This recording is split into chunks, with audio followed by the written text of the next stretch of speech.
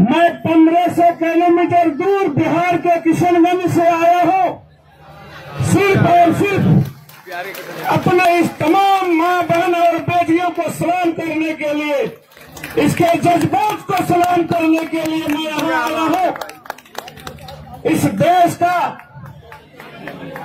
C W और NPR के खिलाफ इस काले कानून के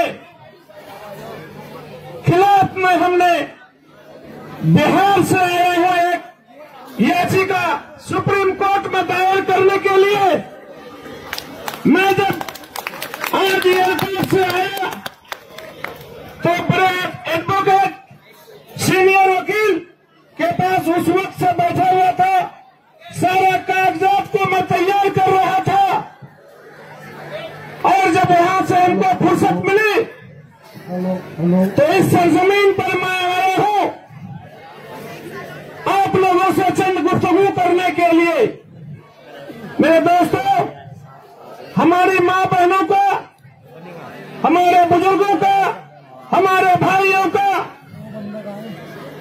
इस काम को अंजाम देने के लिए जो अपने आप को इस सरजमीन पर चौबीसों घंटा मुजाहरा कराता है, मैं उसको दिल की गहराई से मुबारकबाद देना चाहता हूँ मेरे दोस्तों मैं एक बात मीडिया के ज़रिए इस बहरी अंधी सरकार को चेतावनी देना चाहता हूँ।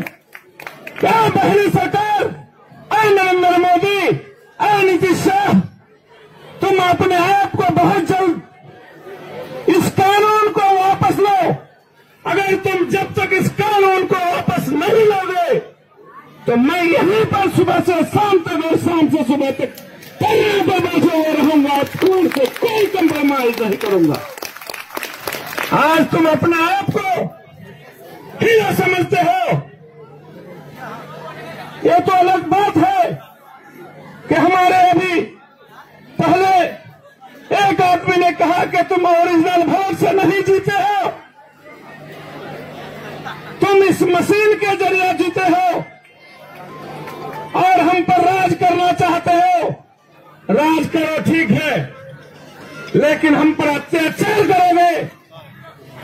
हमारे हिंदू मुस्लिम भाई को एक जगह लड़ा के, हमारे हिंदुस्तान के आइन को ठेस पहुँचा के, हमारे कानून को बदल के अगर तुम करना चाहते हो हिंदुस्तान की राजनीति तो तुम्हारा हिंदुस्तान का का राजनीति को नहीं चलने देंगे हम लोग।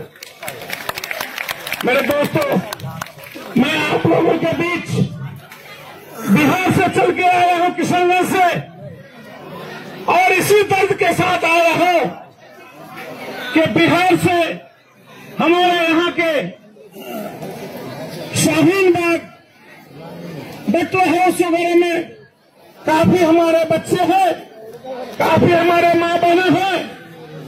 मैं सोचा कि हमारे सारी माँ बहनें, हमारे सारे भाई बहन और हमारे गार्जियन बिहार और किशनगंज छोड़ के बटला हाउस में बैठा है।